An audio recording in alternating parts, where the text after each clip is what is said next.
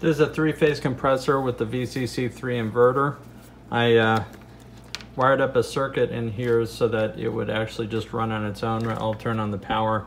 You can see the only thing I got going to it is the 120 volts.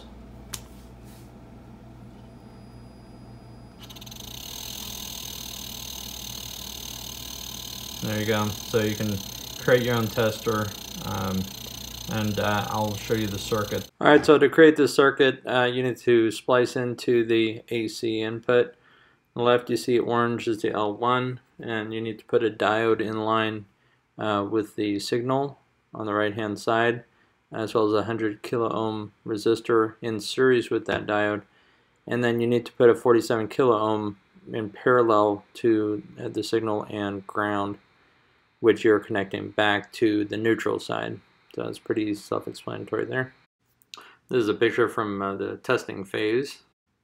And there's the soldered in uh, diode and resistors. And I used heat shrink and uh, zip ties, electrical tape uh, just to insulate it. Uh, you don't have to use that. You can use other methods. Uh, but this I found is, is a, a good way to insulate. I hope you found this uh, useful and if you have any questions go ahead and put them down low in the comments section. You can also uh, comment on the Facebook group. We'll see you next time.